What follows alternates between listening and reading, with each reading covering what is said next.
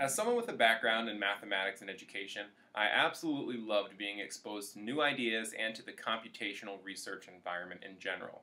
Working in Dane Morgan's group, I was able to learn about molecular dynamics, machine learning, their intersection, and how this all relates to cutting edge materials such as metallic glass. Ben Afflerbach was very helpful in getting me up to speed with all of these new ideas, at least to the point where I felt like I could mostly understand. Collaboration was a key element in the RET program.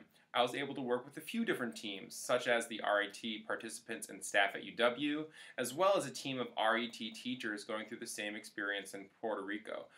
This allowed me to gain more exposure to cutting edge research and to creative science lessons.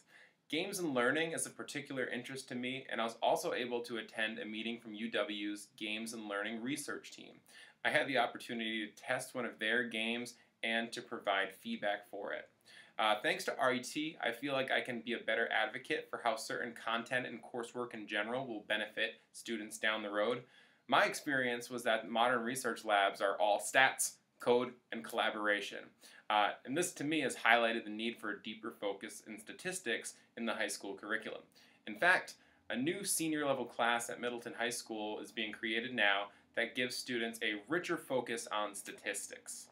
The students enjoyed the hands-on nature of my RET activity. Students were able to dynamically interact with the learning target in the real world, digitally, and symbolically. They enjoyed the opportunity to stray away from business as usual and learn a bit about all of the amazing innovation happening right down the road.